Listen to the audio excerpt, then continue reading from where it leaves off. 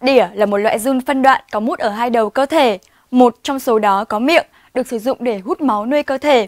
Đỉa có kích thước từ nhỏ đến 20cm hoặc dài hơn khi rỗi ra và được tìm thấy trên khắp thế giới.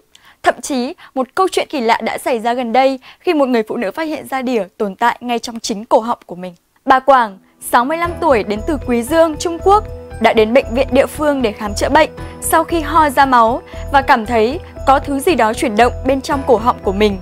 Sau khi nội soi khí quản, các bác sĩ phát hiện sinh vật lạ trong cổ họng của bà Quảng chính là một con đỉa dài 3cm. Con đỉa đang quằn quại trong khí quản và bám chặt vào đó nên quá trình gắp nó ra hơi khó khăn, có gây thương tích nhẹ.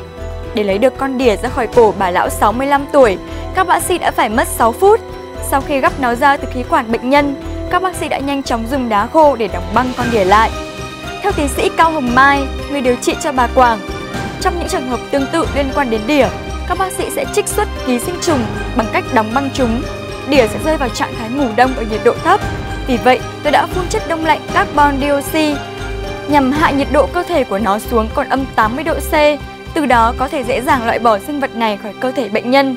Lý giải về nguyên nhân khiến cổ họng bệnh nhân 65 tuổi chứa đỉa, tiến sĩ Mai cho rằng Nguyên nhân dẫn đến sự việc này rất có thể do bà Quảng có thói quen uống nước lã sau khi làm việc tại một trang trại. Thói quen này có thể khiến bà ăn phải trứng đỉa hoặc ấu trùng. Theo thời gian, chúng sẽ nở ra và lớn lên trong khí quản vật chủ. Theo các bác sĩ, nếu không được phát hiện kịp thời, ký sinh trùng này sẽ tấn công vùng xoang của bệnh nhân.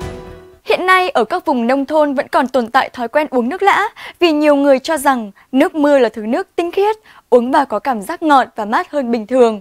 Thực tế, nguồn nước ngọt tự nhiên không chỉ chứa các thành phần oxy, hydro, magie mà còn chứa lượng lớn các vi sinh vật mà mắt thường không thể nhìn thấy. Trường hợp của bà Quảng sẽ là bài học đắt giá cho những ai còn giữ thói quen phản khoa học này.